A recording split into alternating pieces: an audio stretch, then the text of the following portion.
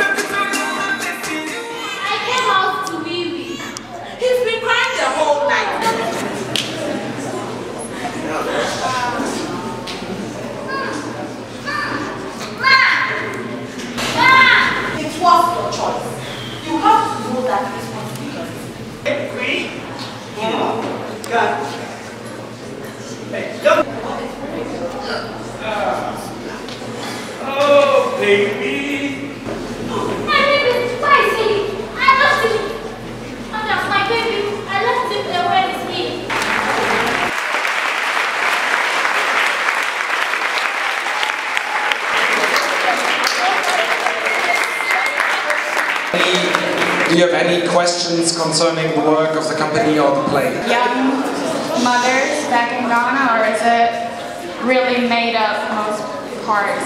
Wer möchte dieser Theatergruppe einmal davon berichten? Auf Deutsch oder auf Englisch?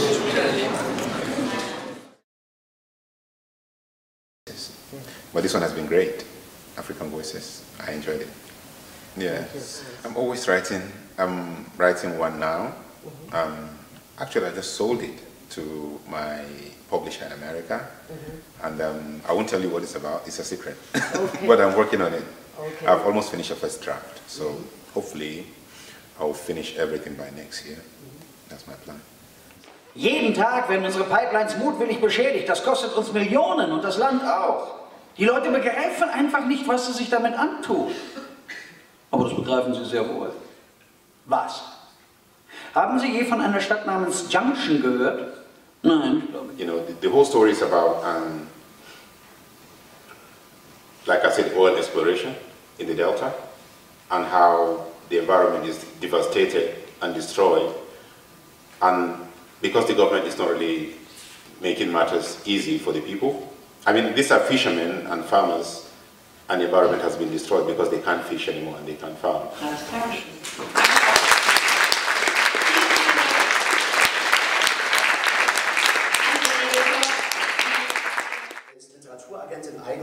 Eigener Agentur, Kulturreferent, Übersetzer, Kinderbuchautor und, und da war ich ganz klein mit Hut, ähm, der bekannteste Lyrikperformer Afrikas. ndiko kusaka. Ono zhinji panyika dzichikwashuranwa kunge zvengozi ropa zhinji richideuka Aus demselben Grund werden rund um den Globus Konflikte mit infernalischer Heftigkeit ausgetragen. Flutet der Blutfluss die Flüsse.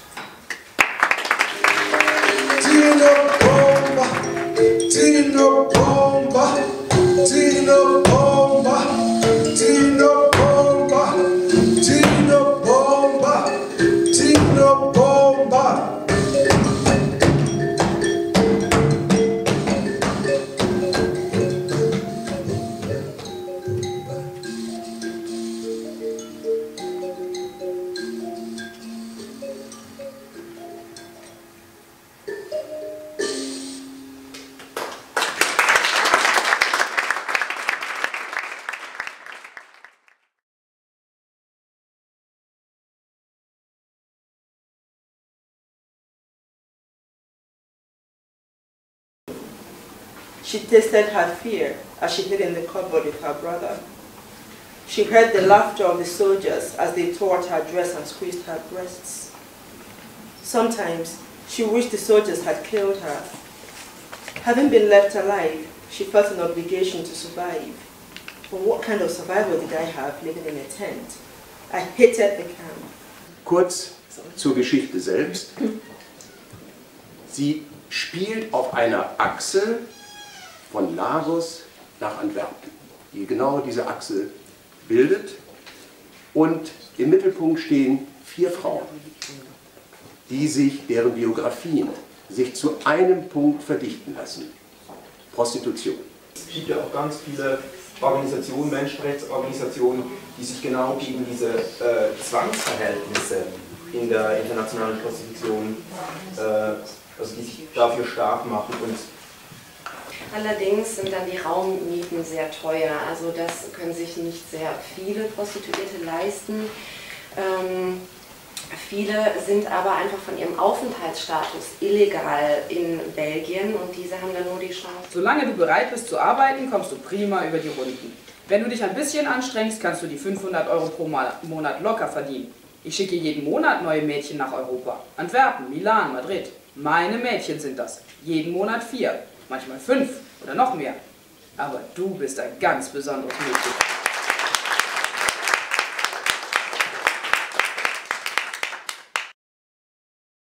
Guten Tag, meine Damen und Herren. Herzlich willkommen im Rautenstrauch-Jost-Museum bei unserer heutigen Veranstaltung. Können Sie mich alle hören? Ja? Vom Tahrirplatz zur Plaza de Mayo und weiter. Wie öffentlich ist die Politik der Zukunft? Wir haben dafür auch den öffentlichsten Raum gewählt, den wir hier im Museum haben und hoffen, dass das Wetter weiterhin so beständig bleibt. Ähm, wir diskutieren heute mit Vertreterinnen und Vertretern der Occupy-Bewegung aus verschiedenen Staaten oder Ländern. Ja, der Euphorie dessen, was man Occupy-Bewegung nennt oder eine Euphorie der Aktionen, bei denen öffentliche Plätze besetzt worden sind, zu politischen Zwecken, zum Zweck des Protests in unterschiedlichen Ländern, in sehr unterschiedlichen Zusammenhängen, aber bei Bewegungen, die sich durchaus aufeinander beziehen. Können Sie sich vorstellen, dass irgendein bedeutungsschweres Event auf dem Neumarkt sich abspielt? Weniger. Na, ich frage Sie natürlich das Gleiche auch. Warum denn nicht? Die Ausstrahlung ist es. Der Platz gibt nichts her. Natürlich, der Tahrir-Platz hat eine historische Bedeutung für Ägypten. Allein der Name der Tahrir-Platz bedeutet Platz der Befreiung, Platz der Freiheit, hat was mit der Geschichte der Unabhängigkeit Ägyptens zu tun, der Kampf gegen britische Besatzung. I think most exciting slogans was uh, Rothschild, which is the name of the boulevard, Rothschild, Tahrir, the same revolution. And people were shouting this all the time in the demonstrations, it's the same revolution. So I think the inspiration from the Arab Spring was tremendous. has eroded in a very serious way. The movement creates more or less 100 camps.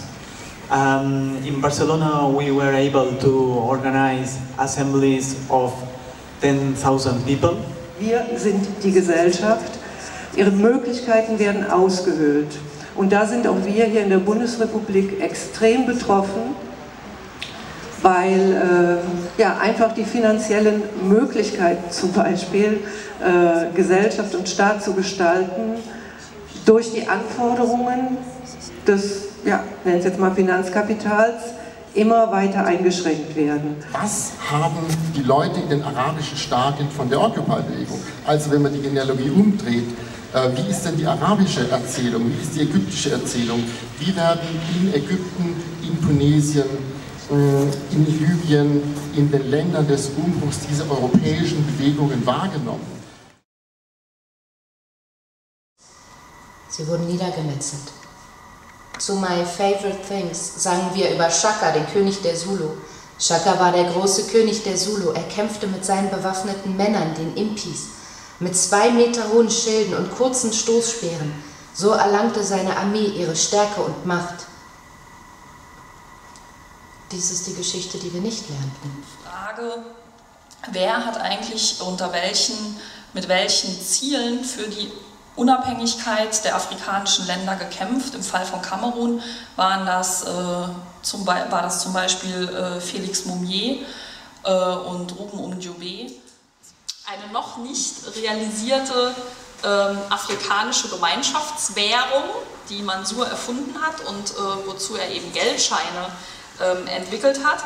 Und was wir ähm, gleich sehen werden, ist, dass Thomas Sankara da auch wieder auftaucht, diesmal im Bild. Seit 1993 lebe ich in Berlin. Und wie komme ich zu diesem Medium? Das heißt, Bildhauerei war für mich sehr schwer zu transportieren. Deswegen bin ich Konzeptkünstler und Medien gelandet. Also eine einfache und leichte Medium zu transportieren, überall die ganze Welt.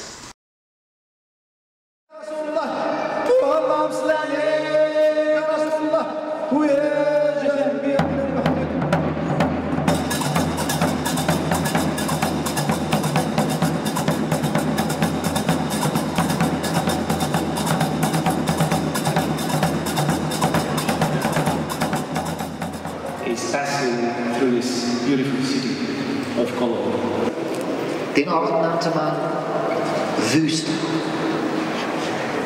Und da er sich bis heute nicht verändert hat, nennt man ihn immer noch so.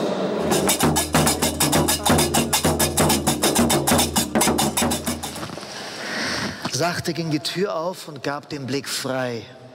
Ihr werdet mich niederschreiben. Ihr werdet mich niederschreiben. Du wirst mich niederschreiben bis zum allerletzten Buchstaben, der leblos auf dem Rücken liegt. Diesen Punkt, der einen durchsticht und den Tod bringt. Die das Fleisch ins eigene Fleisch zurückstößt, in Wortrichtung drehen müssen, bevor am äußeren Rand eines Punktes Blick je das Bild eines Mannes erschien, der, ohne es zu ahnen, nur für sie durch die Welt gezogen war, um ihr in seinen sanften, wirklich sanften Augen. Gibt einfach eine große Angst äh, äh, vor Armut. Also auch äh, wenn man reich ist, möchte man ja eigentlich gar nicht damit konfrontiert werden. Straßenkindern in Afrika. Kinder, die auf der Straße leben, Kinder, die missbraucht werden. Und ähm, unsere beiden Autoren, die wir heute Abend hier haben, haben Bücher zu diesem Thema geschrieben. Ich hatte angefangen, an diesem Buch zu schreiben und dann habe ich den Kindern in diesem Zentrum kapitelweise das Buch vorgelesen. Und also ich habe es übersetzt in Swahili. Und die Kinder haben mir wiederum ihre Geschichten erzählt. Und so ist dieses Buch eigentlich die Geschichten der Kinder, die sie mir erzählt haben. Das Herz der Leopardenkinder. Es ist kein Buch für Kinder. Es ist ein Buch für Erwachsene. Jugendliche auch. Ja, so Erwachsene. ab 14 ist es möglich. Ja. Ich soll verdammt nochmal mein Maul halten. Schließlich bin ich hier in Polizeigewahrsam. Ich gebe mir Mühe. Und in dem Nebel plötzlich die Gestalt meines Ahnen außer sich. Dafür bist du nicht nach Frankreich gegangen, mein Sohn. Ich fürchte mich vor Verhören. Mein Kopf ist vollgestopft von den ganzen Fragen seit Jahren. Wer bist du? Wo kommst du her? Warst du gut in der Schule? Wie ist dein Land? Und genau an der Stelle, an der er sich kratzte, wohnte im Innern seines Schädels eine ganz kleine, klitzekleine Sache, die Fantasie. Da beginnt meine Entschlossenheit zu bröckeln, verschwindet meine Abneigung gegen das Einkaufen. Mir wird klar, dass ich mich an diesem kühlen Ort niederlassen, die Augen schweifen lassen und Interesse bekunden kann und eine maßgeschneiderte Lösung erhalte. Ich zeige auf in Frage kommende Stoffe, sie runzelt die Stirn und sagt, nein, vor Jahren hatte ich mal eine Teilzeitstelle als Übersetzer für ein paar senegalesische Besucher Kenias. Zwei ältere Frauen, beide ziemlich umfänglich, baten mich, mit ihnen Büstenhalter kaufen zu gehen. In Nairobis größter Einkaufsmeile kämpften wir uns von Laden zu Laden. Sie prüften und zogen und seufzten und lamentierten. Und ich übersetzte für die aufgeputzten jungen Mädchen, die beleidigt waren, dass Frauen dieses Alters Fragen zu einem Büstenhalter zu stellen wagten, die nichts mit dessen praktischen Nutzen zu tun hatten. Dieses anglophone Beharren darauf, dass eine Frau über 25, die Kinder hat, nur hässliche Büstenhalter tragen soll, konnten sie nicht verstehen. Die Freiluftstände in meiner Heimat verkaufen nützliche, praktische, weiße Büstenhalter. Alle gebraucht. Ganz anders hier. Da findet man rote, trägerlose Büstenhalter mit knurrenden Rändern aus schwarzer Litze. Ich entdecke einen narzissengelben BH mit gewundenen grünen Blättern, die sich an den Säulen hinziehen. In der Mitte der Leine baumelt der größte Still-BH, den ich je gesehen habe. Weit, weiß, drahtgestützt und unheilverkündend. Runden Sie Ihr Buch mit einer Äußerung von Nelson Mandela zu Regenbögen oder dem Wiedererwachen des Landes ab,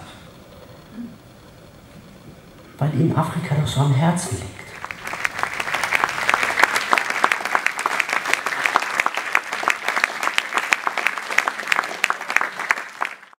Ich mich sehr gefreut auf diese Veranstaltung, denn da gibt es ein wunderbares Foto hinten drin Da sieht man ein sehr ungewöhnliches Autorenfoto, einen jungen Mann, der über das ganze Gesicht strahlt. Da habe ich gedacht, den will ich kennenlernen. Das sieht echt nett aus, der ist wirklich sympathisch. Ich äh, freue mich sehr, Tendai Luchu zu begrüßen.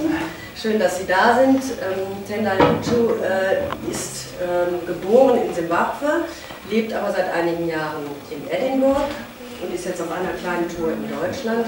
Sein wunderbarer Roman Der Friseur von Harare ist im letzten Jahr bei Peter Hammer Verlag erschienen. Schon weiter so spat die Kundschaft wird nicht Agnes Morgan vor morgen.